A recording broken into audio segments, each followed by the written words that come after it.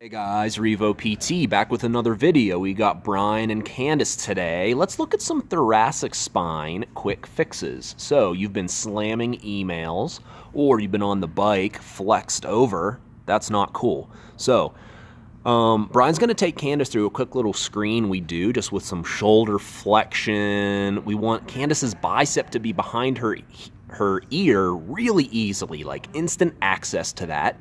And then, of course, we're going to look at her thoracic spine extension as well. We want Candace to be able to lean back into that extended position.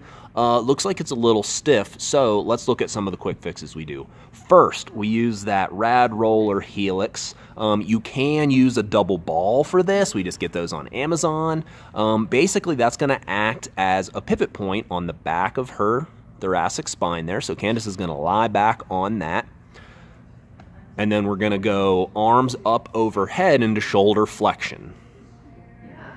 So ideally, we're not to be arching the low back a whole lot, and we're to try to get the arms onto the ground behind you.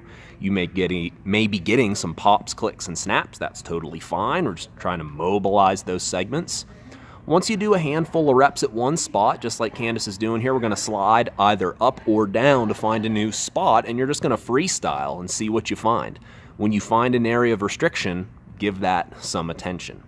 So, if you're limited that extension range, most likely you're going to be limited in rotation as well. So, let's take a peek at what we call an open book. So, Candace is going to have her bottom leg straight, top leg is rolled to the side. Ideally, again, her knee is on the ground. She's going to block that with her arm and then open up to look toward Brian.